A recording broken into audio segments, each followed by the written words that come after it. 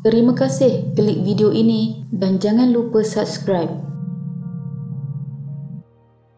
Pada 17 Mei 2018, negara telah digemparkan dengan satu kes yang tragis telah berlaku di Kampung Haji Muhammad, Rungkuk, Perak. Hari itu adalah hari pertama umat Islam menyambut bulan Ramadan. Yang menyedihkan orang ramai adalah kejadian itu mengorbankan tiga orang adik-beradik yang merupakan kanak-kanak yang masih kecil iaitu Nur Ziah Fasihah Muhammad Fadil berumur 2 tahun, Muhammad Firaj Zafril berumur 3 tahun dan Muhammad Fakih Zahirul Haq lima tahun. Kejadian berlaku kira-kira pukul 2.30 petang itu turut mengakibatkan empat lagi cedera termasuk ibu mereka Zuraidah Mat Ali berusia 35 tahun dan kakak sulung ketiga-tiga mangsa Nur Zurin Fazira berusia 9 tahun. Seorang murid sekolah yang dikenali sebagai Aina berusia 9 tahun serta seorang guru sekolah dikenali sebagai Ustaz Rizwan berusia 40 tahun. Jadi, apa sebenarnya yang telah berlaku pada hari itu? Ini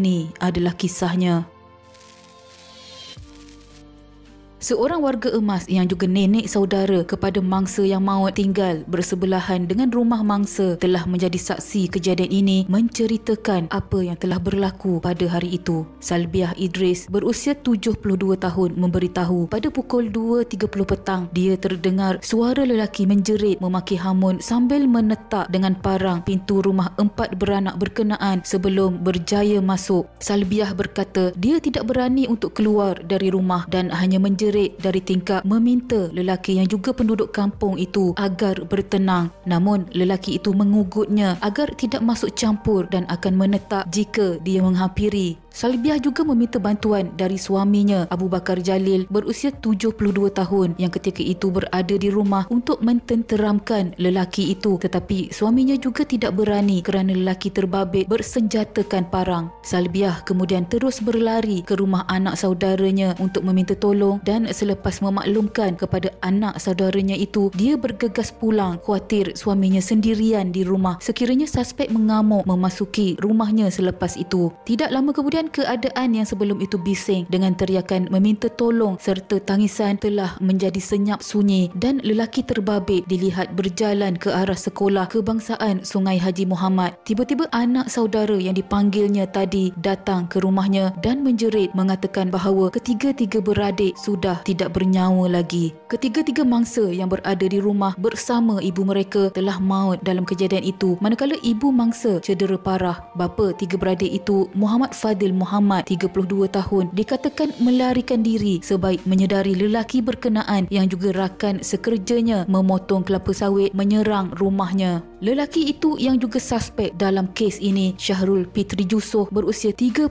tahun dikenali oleh orang kampung dengan gelaran Rambo. Seorang penduduk kampung yang enggan dikenali berkata Rambo baru saja pulang ke kampung berkenaan selepas merantau dan bekerja bersama ayah mangsa di sebuah ladang kelapa sawit. Kejadian kejadian telah dilaporkan kepada pihak polis Rupa-rupanya suspek belum habis lagi melakukan aksi kejamnya apabila dia berjalan menuju ke sekolah. Dia mencari seorang lagi anak perempuan Muhammad Fadil iaitu kakak kepada tiga beradik yang maut itu. Menurut saksi yang juga mangsa dalam kes ini, seorang guru pendidikan agama Islam dari Sekolah Menengah Kebangsaan Rungkuk, Ridwan MB berusia 32 tahun berkata sewaktu kejadian dia sedang menaiki motosikal dalam perjalanan pulang ke rumah. Kemudian dia bertembung dengan suspek yang sedang berjalan kaki dan biasanya apabila berjumpa dengan orang kampung dia akan mengangkat tangan tetapi dia tidak nampak suspek memegang parang ketika itu. Secara tiba-tiba suspek terus melibas mukanya menyebabkannya jatuh dari motosikal. Tanpa berlengah dia cepat-cepat melarikan diri dan apabila menoleh ke belakang suspek seperti mahu mengejarnya. Kemudian dia terjatuh ketika melarikan diri dan ketika itulah sekumpulan anggota polis yang melalui kawasan itu untuk menangkap suspek. kemudian membantunya. Dia kemudian dibawa ke klinik kesihatan Sungai Batang oleh orang kampung untuk mendapatkan rawatan manakala anggota polis terus mengejar suspek. Kakak kepada tiga adiknya yang maut tidak mengetahui kejadian yang menimpa keluarganya di rumah. Nur Zurin Fazira berusia 9 tahun dan kawannya yang dikenali sebagai Aina 9 tahun ketika itu sedang mengayuh basikal untuk ke sekolah agama rakyat yang berhampiran. Pada waktu itulah suspek telah menjumpainya. Mereka telah ternampak suspek yang berlari membawa parang dan terus menghayunkannya ke arah mereka. Mereka kelam kabut mengayuh basikal dengan laju tetapi masih terkena hayunan tersebut. Namun mereka berjaya melarikan diri daripada suspek. Dua jam selepas kejadian, suspek telah berjaya ditangkap bersama barang kes iaitu satu parang panjang oleh anggota Balai Polis Rungkup. Polis menahan lelaki terbabit berhampiran Sekolah Kebangsaan Sungai Haji Muhammad selepas suspek melepaskan parang panjang yang dipegangnya. Polis turut mengesahkan seorang anggota polis turut cedera akibat bergelut dengan suspek ketika ingin memberkasnya dan suspek kini direman selama tujuh hari bagi membantu siasatan selain ujian air kencing turut mendapati positif syabu dan ganja. Hasil siasatan awal mendapati suspek tidak mempunyai rekod jenayah lampau serta tidak mempunyai rekod rawatan sakit mental. Ketua Jabatan Siasatan Jenayah Perak Senior Assistant Commissioner Yahya Abdul Rahman berkata lelaki berusia 35 tahun itu bagaimanapun dipercayai berhalusinasi dan mendengar bisikan sebelum kejadian berlaku. Namun ketika kejadian tidak menunjukkan suspek sedang berkhayal kerana dia tahu siapa yang hendak dicarinya iaitu mangsa-mangsa yang ter terlibat. Motif pembunuhan juga masih dalam siasatan dan kes ini disiasat mengikut Seksyen 302 Kanun Keseksaan kerana membunuh. Hasil siasatan pihak polis, kejadian tragis itu berpunca daripada perselisihan faham dan pengaruh bahan terlarang. Ketua Jabatan Siasatan Jenayah JSJ Perak, Senior Assistant Commissioner Yahya Abdul Rahman berkata perselisihan faham dikatakan berlaku antara suspek dan bapa mangsa berhubung soal kerja. Dipercayai suspek dimarahi kerana sikapnya yang tidak bertanggungjawab ketika bekerja menimbulkan kemarahan di kalangan rakan sekerja yang lain. Menurut Yahya, setakat ini hanya keterangan keterangan ahli keluarga mangsa diambil bagi membantu siasatan. Suspek direman polis bagi melengkapkan siasatan mengikut Seksyen 302 Kanun Keseksaan membabitkan kematian tiga kanak-kanak dan Seksyen 307 Kanun Keseksaan bagi cubaan membunuh kepada empat mangsa yang cedera.